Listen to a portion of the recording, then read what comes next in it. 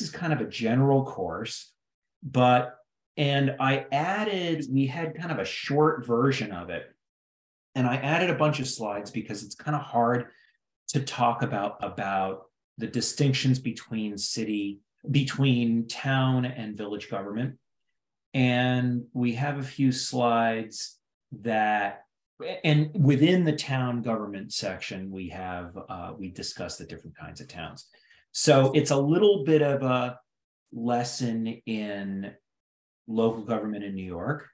And if you want more information about that, we have a publication called the Local Government Handbook. It's really an online publication. We don't publish it anymore. It, it was a pretty extensive book uh, that was revised a few years ago and, and we just haven't printed it because it's it's a few hundred pages and most people just use it online. It's a good reference book but i know a number of schools use it for their civics lessons and their new york state lessons. So it's a it's a great um, publication to uh, to check if you have uh, interest in some of these issues. And i come to the um, I come to this approach, the my knowledge of local governments. I work for the Division of Local Government Services at the New York Department of State. And I studied urban and regional planning. And my goal as a planner was to save New York's rural areas, to kind of keep rural areas rural and revitalize city and village downtowns. But in the process of getting a job, I ended up learning a lot about our local governments. And so uh, this is, I just kind of picked some of this information up by osmosis, and we have a program called Local Government Efficiency. And so we have a little bit of a bias toward sharing services and and uh, th- so there's that perspective too um, that we we bring to it. So um, if there's anything that we go over in this course, I think I, I told Sarah we'd have about an hour tonight. And um, if if everybody's we we could go over a little bit. I think I have probably a slightly more than an hour's worth of material, but I'll work as hard as I can to get to finish in an hour. And then if there are questions, we can stay after a little bit, or you all can follow up if you have uh, questions for me or my colleagues. The last slide of the presentation, and I think Sarah has the a PDF of, of it. So she has the slides, and on the last slide is our phone number and general email address. So, um, Sarah, if you haven't shared the PDF with everybody who's signed up, um, maybe at some point during while we're speaking or or or afterward, uh, so that everybody has the slideshow. That would be uh, great for great of you to share it with them. Yes, so, I will. Yes. Okay, great. Thank you. And um, if if people have questions, I guess you can you can type them into the Q and A. And Sarah, you might. That's what I I was going to say. You might be able to help me with those. Uh, sure. If question comes in, you can stop me at any point, and we can we can address it because we have a small group. That's one of the advantages of a small group. We don't have to be terribly formal. Um, we don't have to hold all the questions till the end. So um, just speak up if anything comes in, and I'll uh, I'll try and pay some attention to the to the chat screen too. It kind of goes away if I uh, if I let it uh, from on my screen. So just a quick overview of uh, what we're going to be discussing qualifications for public officers, local officials. Um, and then we're going to talk a little bit about local government structure. We're going to spend a little more time on the roles and responsibilities of the different public officer titles. And then we'll wrap up with some ethics, quest- ethics questions, ethics discussion. And the uh, the photo here is a combined village town office in the North Country in the Adirondacks. Lake Placid and North Elba are good partners. They have a, a zoning law that really kind of functions as one municipality. and a combined planning board and zoning board of appeals that's made up of residents of both the town and the village. So the the photo here is not an accident. It's the sort of thing that our office recommends local governments working together for uh, better services and greater efficiency. So, who are local, who are public officers? They're obviously elected officials and those who are appointed as well. And our core audience in the local government training program are members of planning boards and zoning boards of appeals. They are public officers. And the municipal staff are, um, are also public officers. Um, so elected other elected officials, we, we think of local governing board members primarily, but uh, municipal clerks, and then uh, your enforcement official, police officers are uh, are all public officers. If you're em- employed uh, or serve your municipality in some way, you are a public officer. And the qualifications for membership on a planning board, zoning board of appeals, or local governing boards are uh, that you have to be at least 18 years of age. And so for most elected and appointed officials, uh, you can be a you can work for a local government and be younger than 18 um, and and not necessarily a resident of the municipality but these are rules that apply to appointed and elected officials um, who serve on administrative boards such as the zoning board of appeals and the planning board and the local governing board uh, you have to be at least 18 years old um, so they're not they're not it's not a huge hurdle. Citizenship you have to be a united states citizen and live in the municipality. Now we there are examples of uh, exceptions that have been written into what's called Article 3 exceptions. That's Article 3 of Public Officers Law uh, for residency. If the local government can't find, and it's usually for employees of the municipality, if there's no one qualified to serve, for example, as municipal attorney or a code official, the local government can um, go to the state legislature, can, can ask for an exception to be passed. Now, the state legislature has done this for a lot of municipalities, and Article 3 of Public Officers Law goes on and on and on because there are all kinds of exceptions that the, the legislature has passed. And if once the legislature passes the uh, an exception for a town, for example, let's say the town of Colonie to have to hire a municipal attorney who doesn't live in the town. Um, that's then any town can can do the same. And the town of Colonie, of course, is a huge town just west of of the city of Albany, so it's unlikely that the the town of Colonie would have trouble finding somebody in its 90 plus thousand population who could qualify uh, and would would apply for the municipal attorney job but small you can extend that to smaller towns and villages and um, those uh, municipalities those smaller municipalities could certainly uh, be challenged sometimes in finding local officials uh, or finding qualified professionals to serve in certain municipal uh, positions. Now, I believe there can be the exception. I believe there are exceptions if you can't find members of your zoning board of appeals, for example.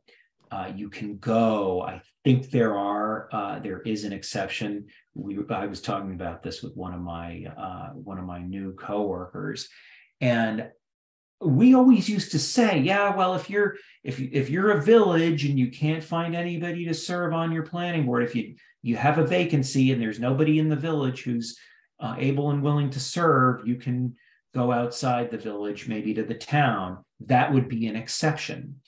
But uh, I could never find it. And I think she did last week. But if you're if you're having trouble finding somebody to serve on your village planning board or zoning board of appeals, as the case may be, we recommend considering having a shared, a, a, combined, a joint village town planning board and joint village town zoning board of appeals. So the town and village would both uh, have appoint a certain number of members, maybe three from the bigger municipality and two from the smaller, for example.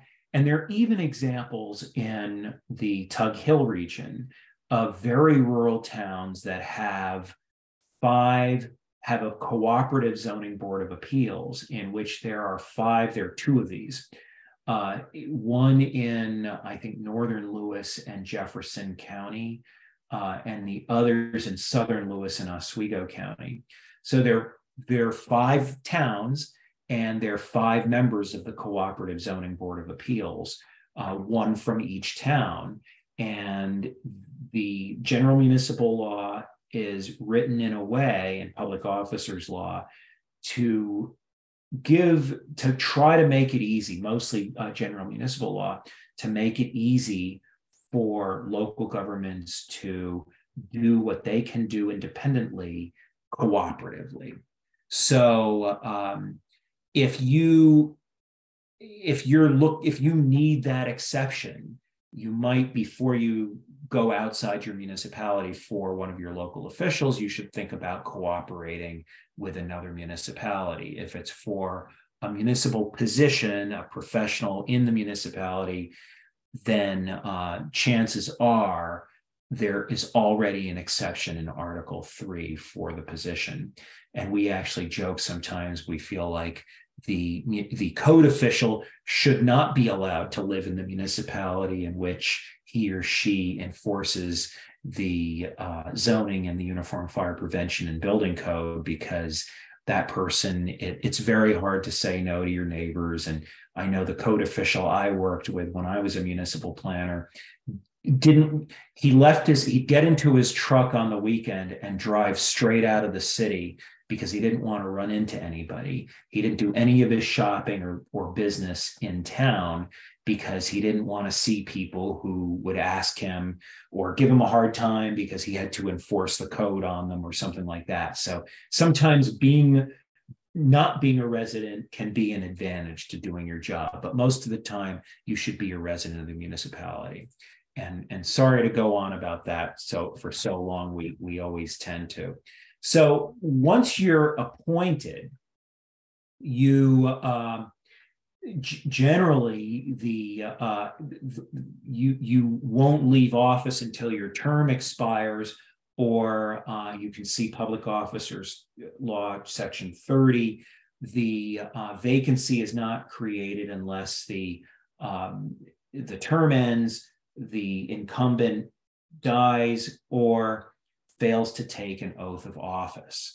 And, and then, then, of course, there's res- resignation covered in uh, the next section of public officers law and removal, which is very rare. We get calls at the Division of Local Government Services sometimes, and people will describe certain problems that they're having with maybe somebody who was elected and we always remind them that the power, their local officials have a good deal of authority, and people, residents of, you should pay attention to who is running for town board and your village board of trustees because it's very unusual for a court to remove a public officer, an elected or appointed official.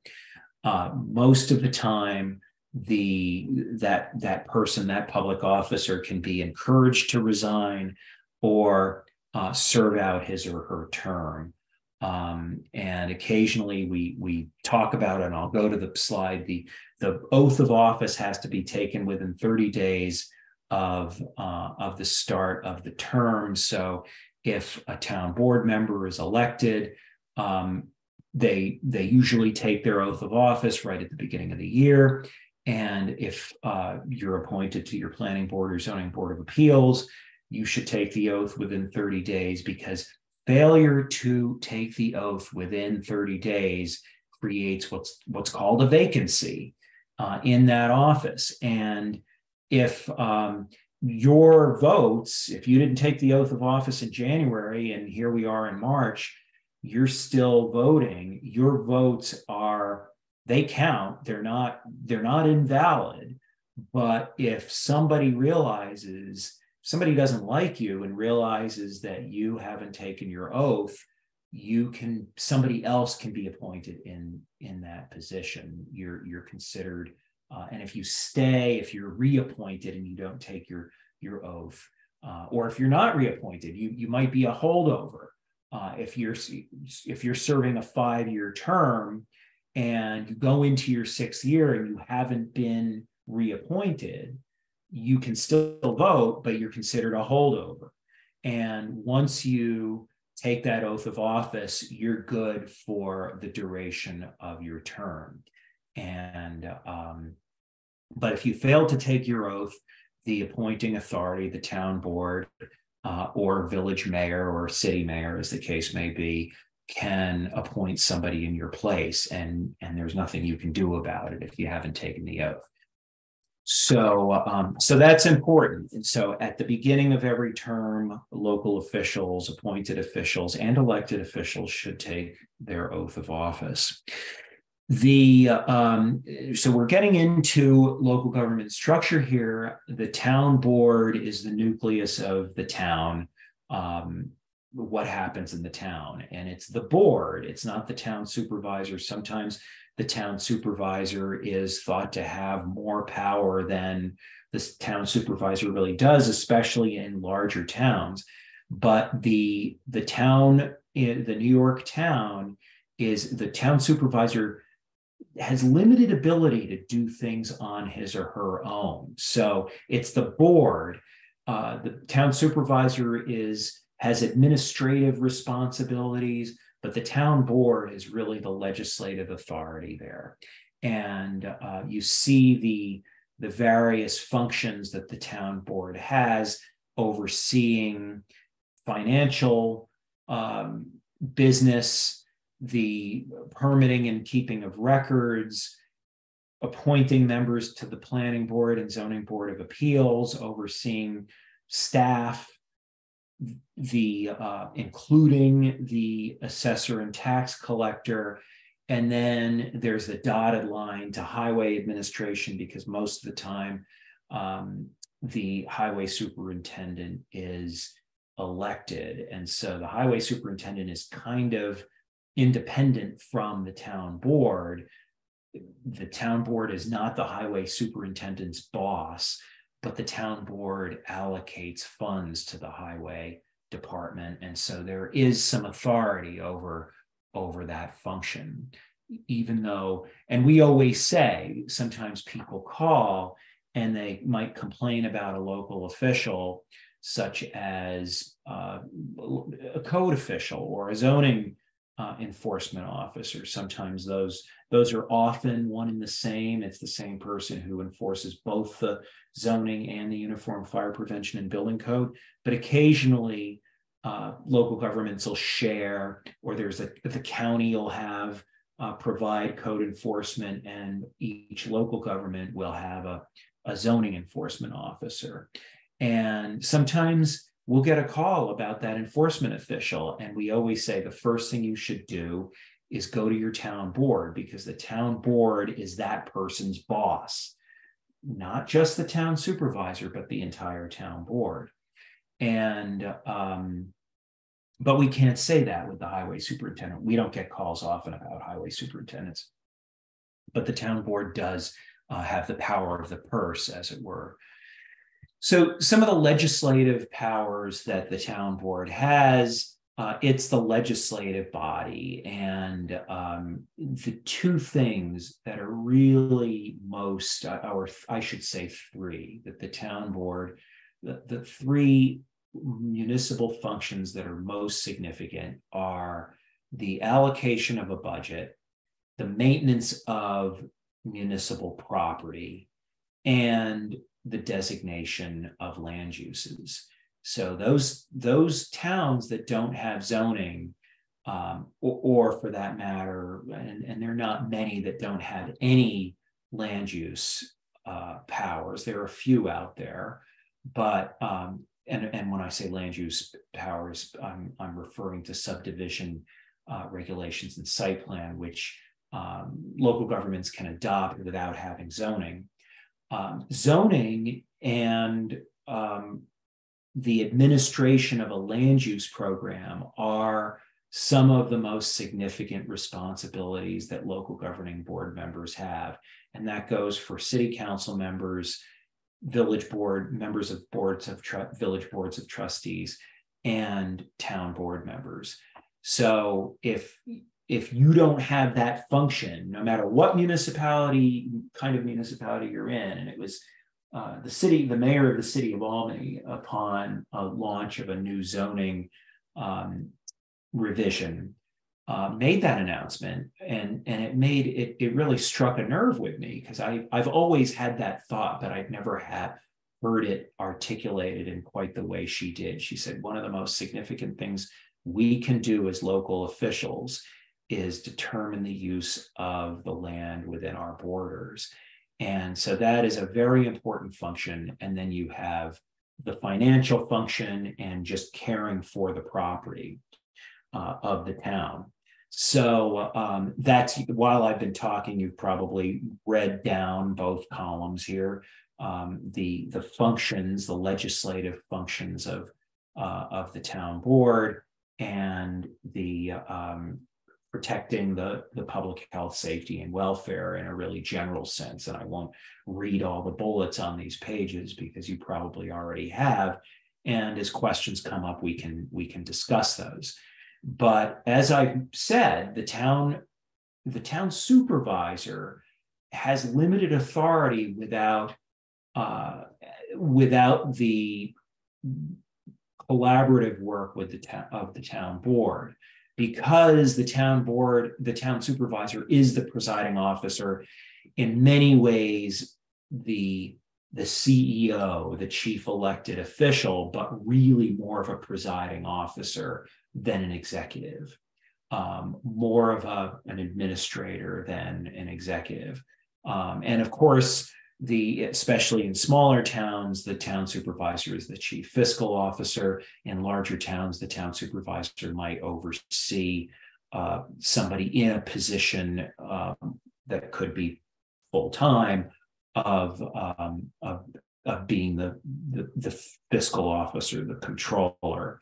Uh, but the fund administering the funds uh, overseeing uh, being this chief administrative officer is probably a more accurate description of the town supervisor than the chief um, than the chief elected official. Because uh, the town supervisor doesn't have veto power. The town supervisor is a member of the town board with administrative responsibilities.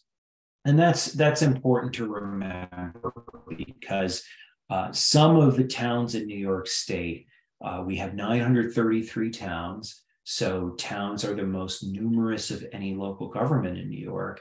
And, you know, I wonder what the, I don't know this off the top of my head, what the population breakdown is in New York. How many people live in cities, towns, and villages in total? Uh, there are 532 villages. So lots of villages, but many of them have small populations and 62 cities, including New York City. So, um, well, there are 9 million people in New York City. So, and there are about 18 or 19 million people in the entire state. So cities probably have it, but there are there are a few towns uh, on Long Island that if they were to become, and there's one village, uh, the village of Hempstead, I think the town of Hempstead is about 800,000 people and the town, uh, the village of Hempstead would be one of the biggest cities if it became a city. And the the town of North Hempstead, there are only three towns in Nassau County, I believe. Um, Hempstead, North Hempstead, and there's one more that I'm forgetting, and they have lots of villages in them. But both Hempsteads have hundreds of thousands of people.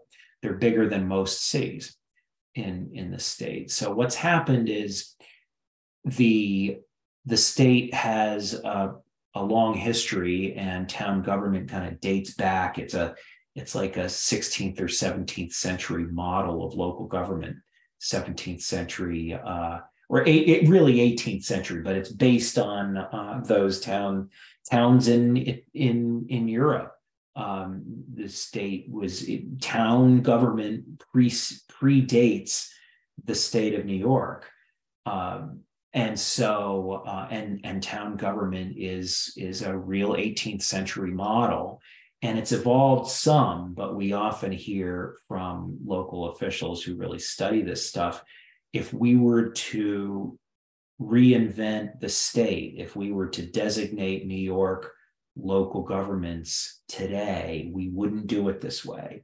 So towns are, uh, when the state was formed in 1787, towns were had a very different role in through the 19th century and into the 20th century towns were generally rural places, and cities were where the uh, population was. But over the course, especially in the late 20th and early 21st century, lots of people have moved out of cities. New York cities have not annexed land as cities in many other states that were founded later, that were established later, are able to do. So towns people moved out of cities into towns, and towns have become an increasingly dominant form of local government. So the deputy town supervisor is also somewhat of an administrator, usually for the larger towns. Uh, the, the, deputy supervisor is appointment is, is appointed by the supervisor, not by the town board, although the town board has to establish the position. And the deputy supervisor can substitute for the supervisor, but can't vote in the supervisor's absence unless he or she is a member of the town board. So the deputy supervisor can be somebody who's not on the town board, but that person can't vote in the absence of a supervisor if of the supervisor if that person is not on the town board um, and obviously and and in arguably is not voting in the absence of the town supervisor anyway because if that person is a member of the town board that person is voting in his or her own position on the town board. But in the absence of the town supervisor whether on the board or not has uh, an organizational role for town town board meetings. The town clerk is the chief records officer of the of the town and serves as a secretary at town board meetings. And um, i just wanted to check my notes. I want to make sure i'm not forgetting. Um, yeah state records officer and um, is often um, we we just had a meeting with our counterparts in the state archives, and they work closely with town clerks um, on um, on records grants. The the state archives has very generous grant funding for records management, and municipal clerks are the records officers for local governments and so they're the points of contact with those with that program and um, we there are uh, the town clerk usually collects taxes sometimes there's the um, tax receiver or collector of taxes uh, it's a different position but generally that's under the town clerk and um, the uh, the Department of State is in many respects the the clerk of the state of New York. It's where the records for the state are kept. It's where local laws are filed, but also state laws. Uh, the the Secretary of State is the, the keeper of the state rec- the state's records. So, um, we, although our division has a, a, not that function, uh, exactly. We assist local governments. That's where we're housed. and we have that in common with uh, with town clerks. Uh, most of the time, town clerks are elected, and there are a few. And I attached. I, I found a survey of elected and appointed town officials, and it was done by the town of Bethlehem. And I attached it, or I appended it to the handout of the slides. It's kind of an interesting read, and um, I in the survey they took most clerks they found were, uh, and this is just something I've never thought to do until today. So I went to see if somebody else had done it. Most clerks are, in fact, elected, although there are some appointed town clerks, and we'll get into the advantage of elected or the the, the debate over elected versus appointed uh, officials a little later because we'll talk about some other positions. I talked about highway superintendents. There are some highway superintendents who are appointed, but many are elected. I think everybody, uh, I don't need to spend a whole lot of time on the uh, um, on on this position. I think everybody knows and values the work of their highway superintendents and staffs. And I'm not going to spend a lot of time on these public officers either. They're fairly self-explanatory.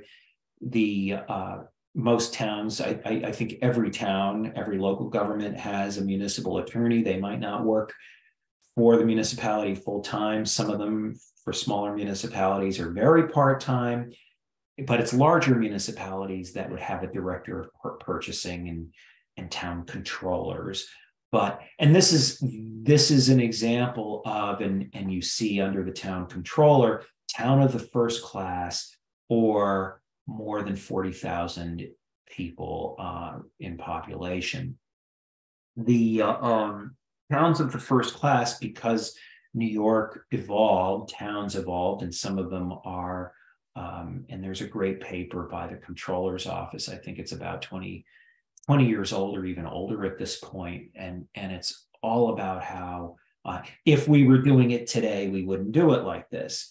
And it's about how there are new york's local government designations are are almost irrelevant because there are many very rural towns some big suburban towns that have rural areas still but are are mostly urbanized or largely urbanized. And then there are some very urbanized towns, and they are all treated fairly alike.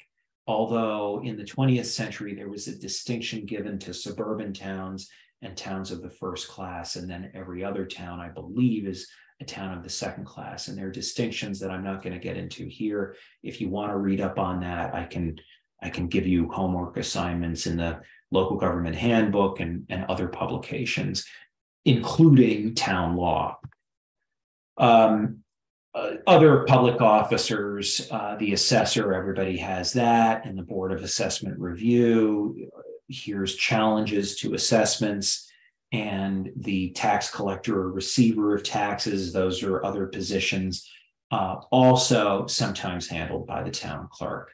Um, some local governments are really challenged in this way because a couple times a year, uh, or really for local governments, once a year, we pay taxes twice a year, sometimes to school districts and our, our local taxes. Um, but the um, there are a couple times a year, the clerk gets very busy. The, the receiver of taxes gets gets very busy. So um, we we've heard stories of how sometimes that position of receiver of taxes is a temporary position somebody's borrowed from another office in town. Sometimes it's a temporary position that's uh, that's more or less seasonal uh, because the town clerk, uh, if it's a solo town clerk, can't necessarily handle um, all of that extra work. And other public officers, as uh, as you can imagine, are those you're familiar with engineers, the enforcement officials. You might not, not many towns, especially the smaller ones, I would say they're probably, if I had to guess, 50 towns that might have a planning department. and um, those are the the bigger towns, obviously the the larger suburban and and more urbanized towns downstate, and uh, and then then board members, members of the planning board, zoning board of appeals. Sometimes there there are other special boards. Um, such as conservation advisory councils and um, uh, agricultural. Um, I'm, I'm, forgetting the acronym now, um, but um, the the the conservation board that advises for the protection of farmland at the local level, and then um, towns have special districts because what's happened, cities and villages kind of are all in one local governments with lots of services.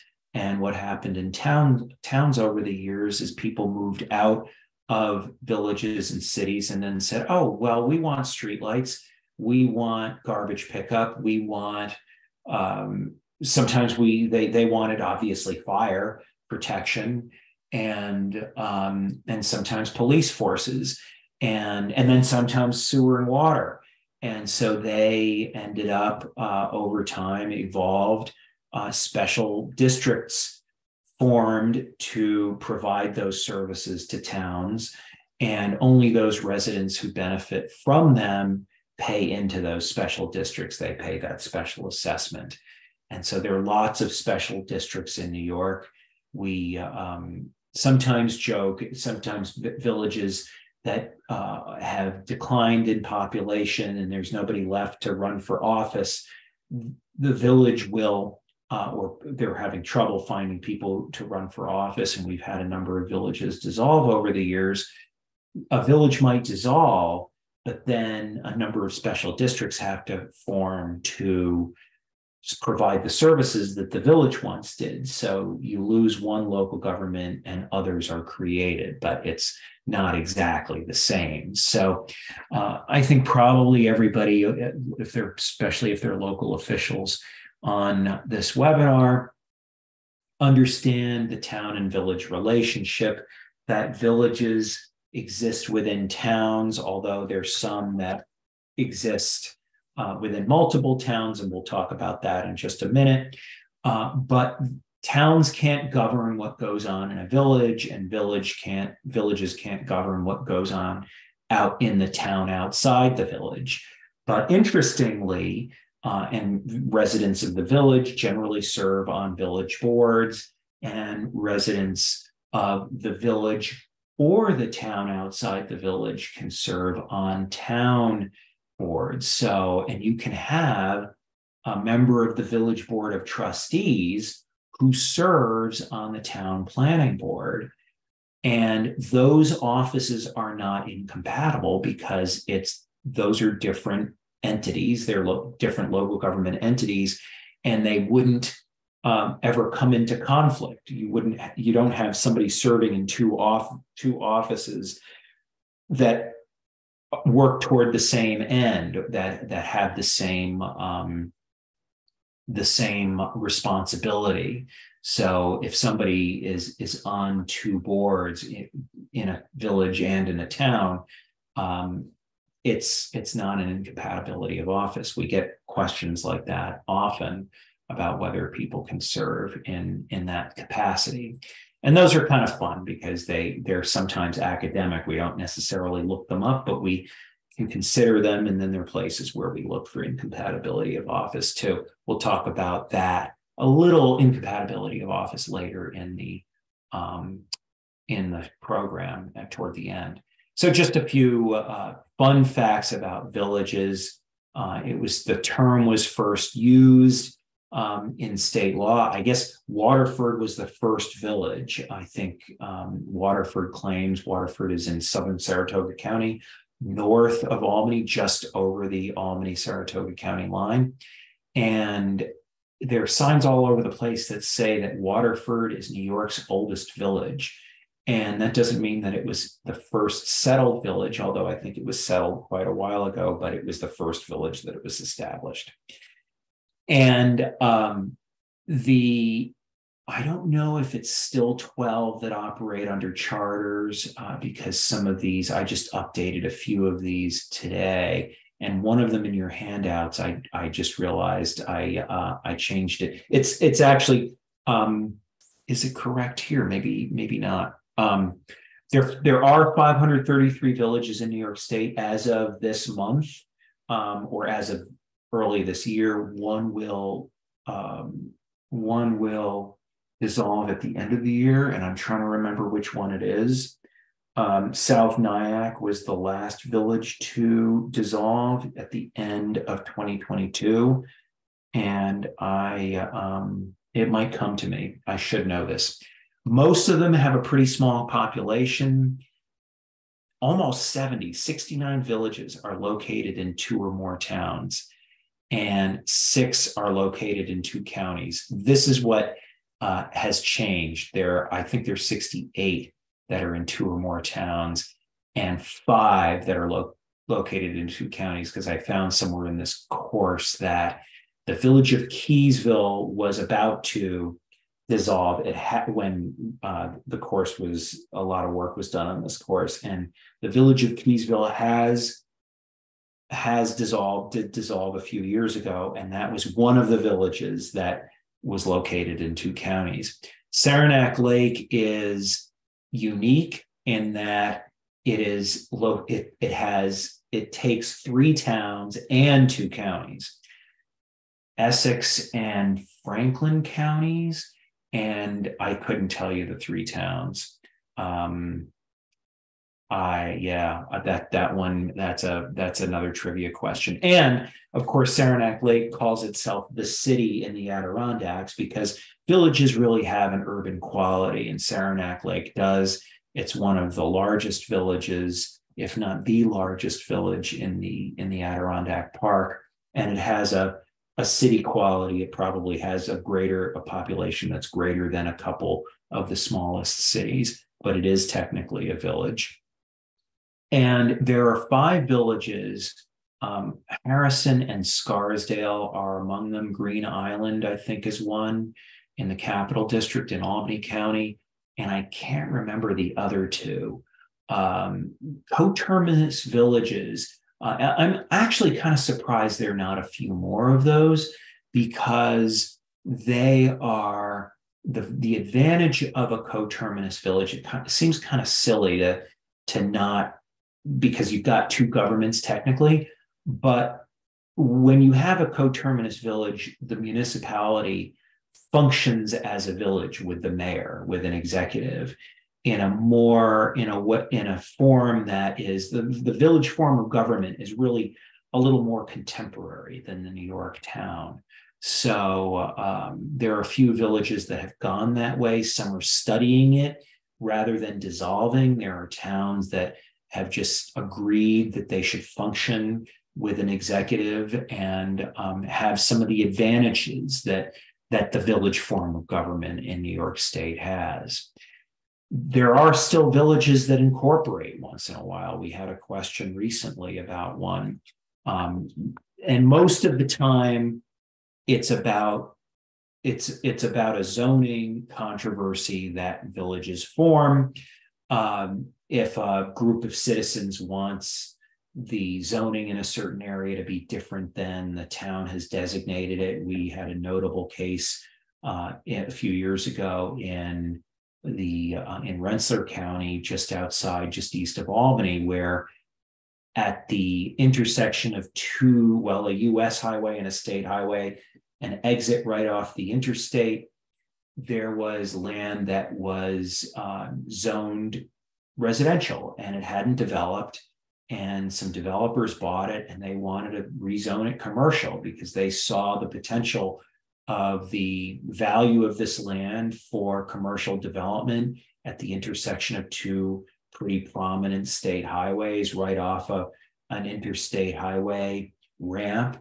And the people who lived near it tried to form a village and they couldn't quite pull it off. They didn't have the 500 um, inhabitants to form that village. You need to have five square miles and you can't already be part of a city or a village and you need 500 inhabitants. So they they do form every now and then and it's usually in response to a zoning controversy and small villages of course might only have a few a few uh, employees uh, that provide basic services but larger villages are function kind of like cities kind of like smaller and sometimes mid-sized cities, but most are somewhere in between with a number of, of legacy functions and uh, staffs of of uh, 20 to uh, to 50 to 100 or so.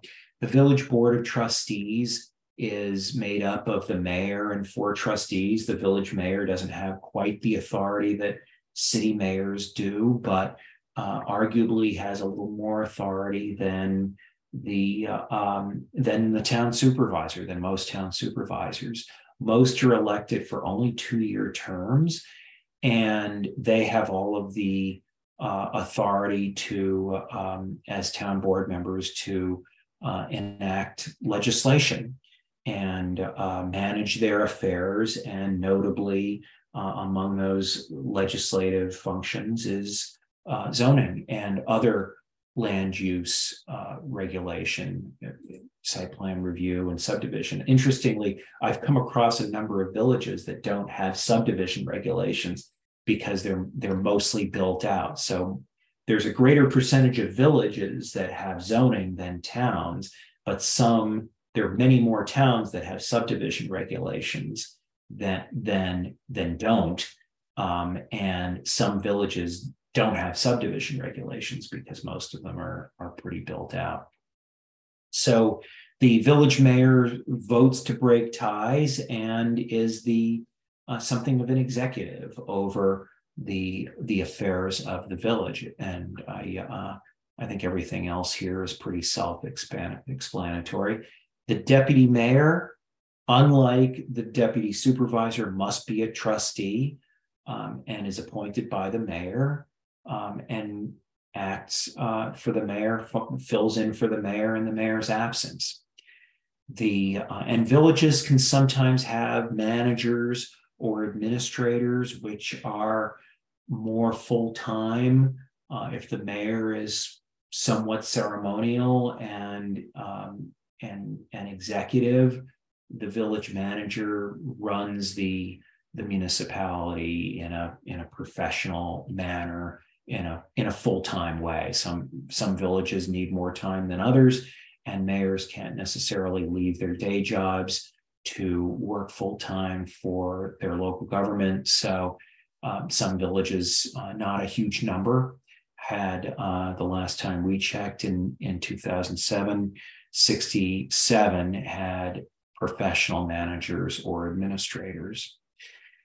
And the village clerk uh, very has a similar role to the town clerk, but is appointed and um, for for two year terms. And treasurers and clerk, clerks and treasurers, we often hear about the village clerk treasurers. They're often positions that are combined, especially in smaller villages. And, and then sometimes there's the independent treasurer who um, whose functions are um, financial in in nature and um, issues uh, handles payments and and uh, collects uh, the um, the revenues of the of the village. The um, let me just make sure I didn't skip one here. Okay, um, the sources of legislative power in New York come from general municipal law town law, village law, general city law, and municipal home rule law. I uh, um, will get uh, just a little bit into municipal home rule law, but these are the sources of authority. And a lot of uh, great discretion, great authority has been granted from the state to its local governments. And traditionally, cities had more power um, to write their destinies in their city charters. And city charters kind of pre, they don't preempt exactly general city law, but they um, they um, um, um, what is the word I'm trying to think of? Um, they they can be written in greater detail. General city law isn't as detailed as town law or village law. Charters are the give local governments the authority to have more control over the way they handle their affairs. I guess for um, um, that's probably the best way to describe it. And um, and I'm not because we have many more towns than cities, and cities generally have staff. The uh, I find myself not as familiar with general city law as I do with town law and village law. And generally, when we cite sections of statute, it's the it's town law and its equivalents. Municipal home rule law is um, was granted initially to cities in the form of their charters, where they could um, they could supersede. That's the the word I'm, I was trying to think of a minute ago. They can supersede statute in almost every respect, and and uh, right the the charter is like the city's constitution, and some villages have charters, towns don't, but all can supersede now. Towns were given the ability in 1964 to supersede statute. Cities and villages had that authority initially. And over time, towns have, because they were the more powerful, they were where the populations were. And over time, town, towns got more powerful. And in 1964, were given the um, supersession uh, authority and uh, authorized in municipal home rule law to supersede most sections of statute. And I'm not an attorney, so I can't explain this very well, but there's certain um, property affairs and government, there's certain aspects of property and affairs and government that municipal home rules law sections 10 and 11 um, give local governments. Not all. There are areas where the uh, the legislature, the state legislature, has explicitly and implicitly, and some of those areas have been revealed in uh, case law, occupied the field and taken uh, taken control of their own affairs, uh, or the state has prevented local governments. I'm sorry, uh, from superseding statute and required them to go by um, statute as it's written in town law, village law, and general city law. And one example of that is the use variance and area variance test. And um, we can talk we can talk more about that if anybody has specific questions and i can enlist the assistance of as of an attorney to uh, to to help me um, enlighten everybody about it but that is um, that's really the, the gist of municipal home rule law. Um, the, the hierarchical hierarchy of local legislation is the local law at the top, ordinance um, is a form of legislation, but it's lower than the local law. And resolutions are enactments that they're not legislative in nature. They are generally budgetary. They're they're legislated in the sense that the local governing board is acting. It's something that the local that needs the action of the local government to uh, accomplish a resolution, but it's not a form of law or legislation. And in New York, we have the local law, which we encourage. Villages don't have ordinance power anymore, and local laws are really the way local governments are going. Towns didn't have the local law authority until the 60s, municipal home rule law.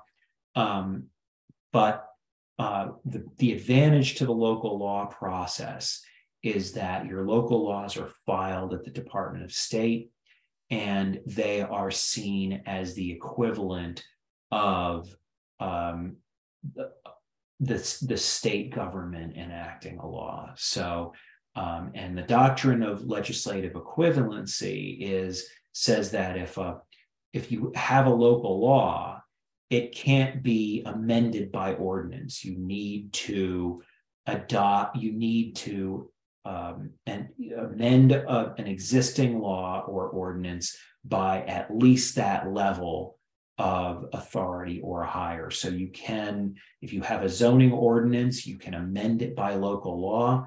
But if you have a zoning law, you can't convert it to an ordinance. And um, that's just a little, the most important thing to remember is that most municipalities are going by local law these days, and there are advantages to that. The ordinance process is a little, a little clunkier.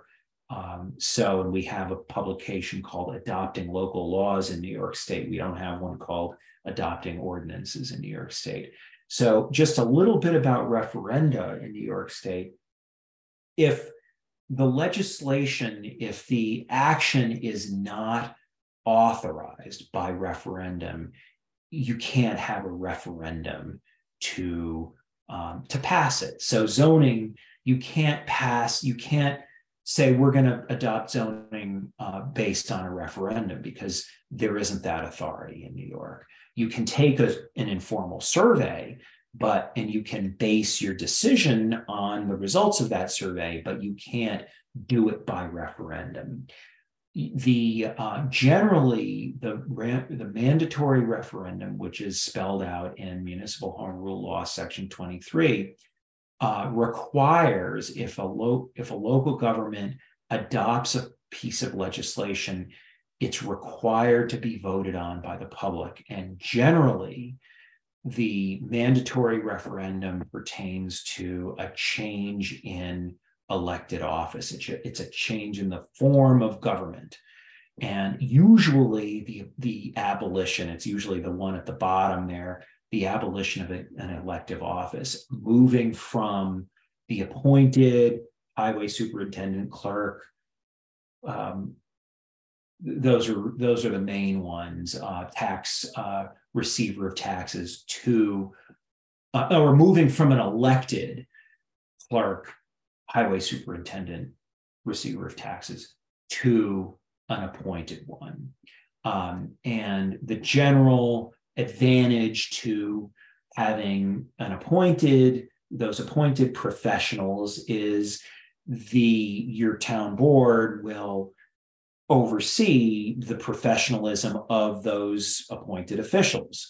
And um, the advantage of the elected officials, the reason why a lot of uh, voters resist is because they feel that the highway superintendent is accountable to the voters and the clerk is accountable accountable to the voters it's more democratic for the voters to to choose those local officials directly the problem is, how do we know what the qualifications, most of us, if we don't know them personally, the qualifications of the highway superintendent or the clerk? And I think we've all had those experiences where um, my current highway superintendent is very good.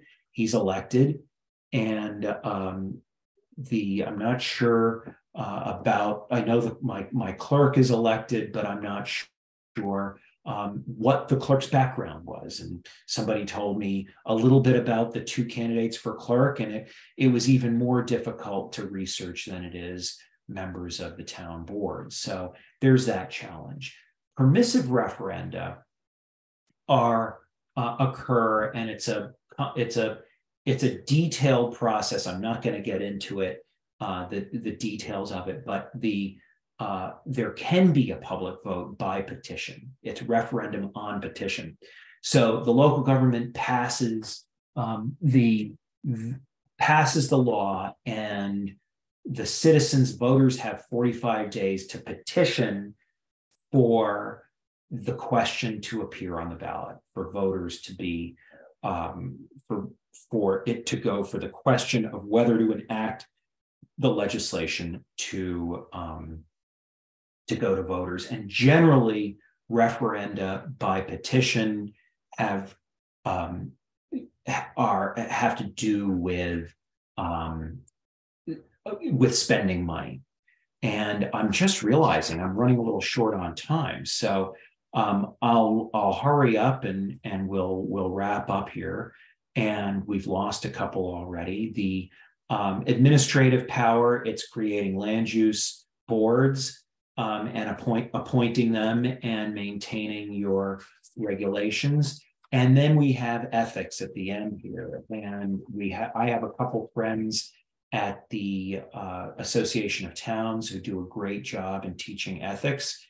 And we can answer questions pretty well, uh, ethical questions.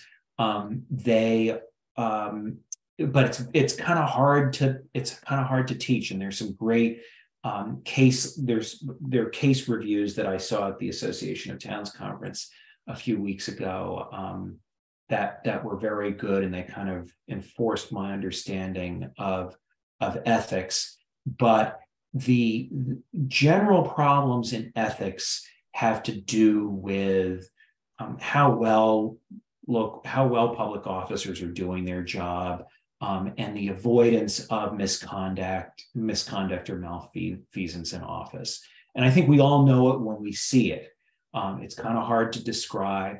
Uh, all local governments, and I'm sorry, in your handouts, I just realized we have the same slide, but different. Um, we have the same slide, but different um, photos here. And I actually, in my in my presentation, I brought brought up the wrong ones. These are the same same content, different photos.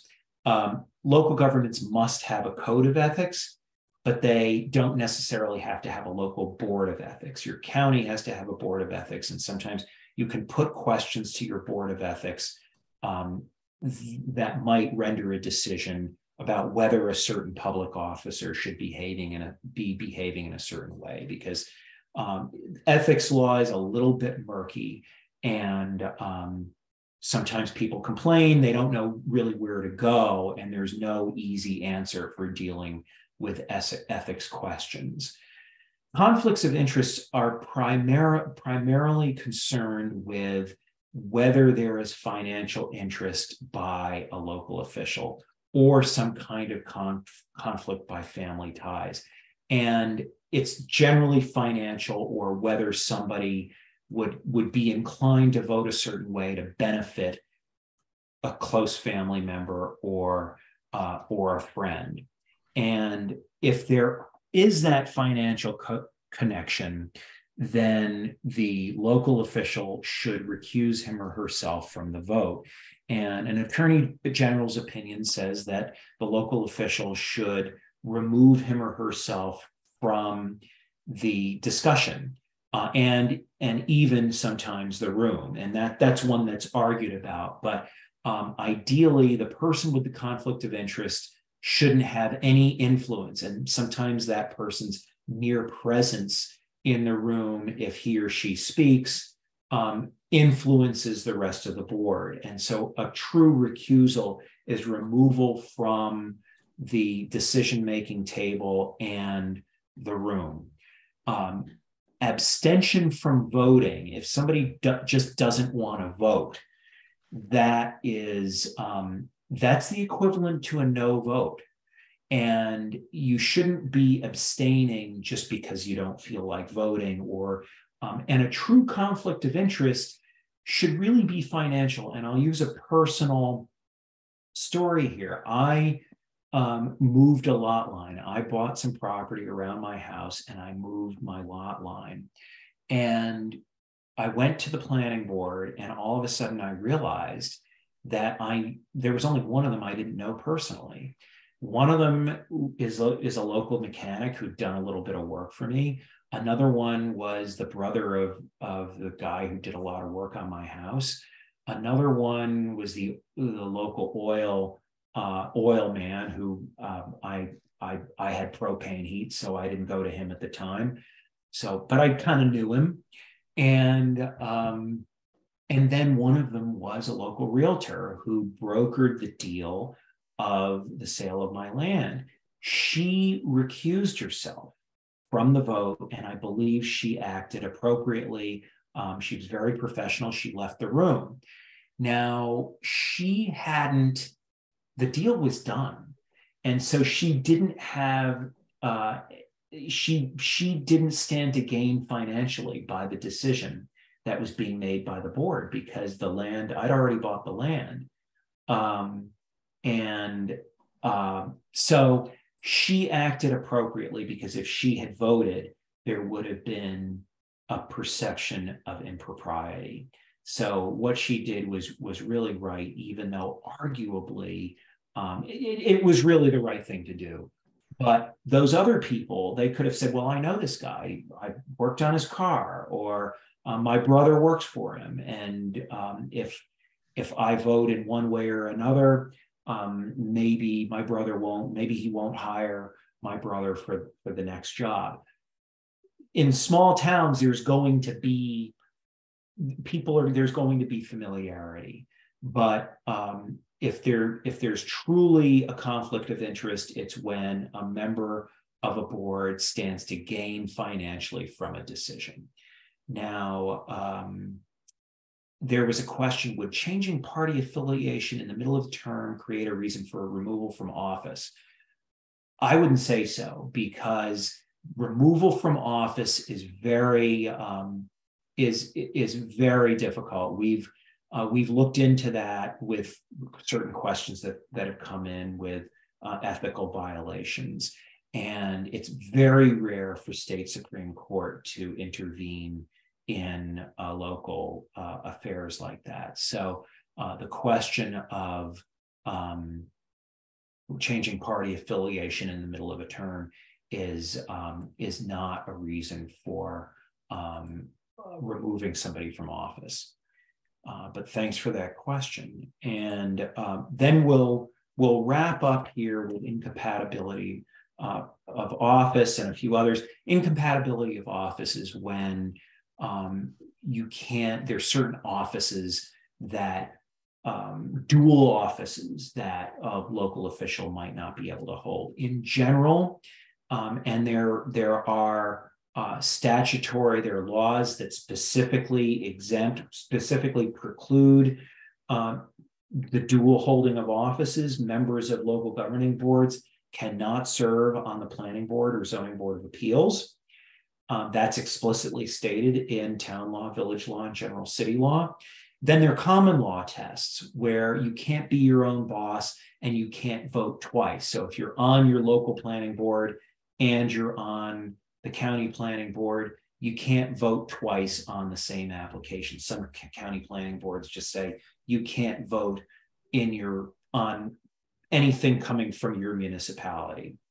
And um, and then there are sometimes it's not an incompatibility of office for somebody to serve in a small municipality. It's having trouble finding people to serve a husband and wife serving on one on the planning board, one on the zoning board of appeals, one on the local governing board, one on the planning board, um, or even the same person on the planning board and the zoning board of appeals, as long as that person doesn't vote twice. So if a site plan or subdivision uh, application goes to the ZBA for uh, some dimensional relief, that person should either vote in his or her uh, capacity as planning board or zoning board member of zoning board of appeals, but not both.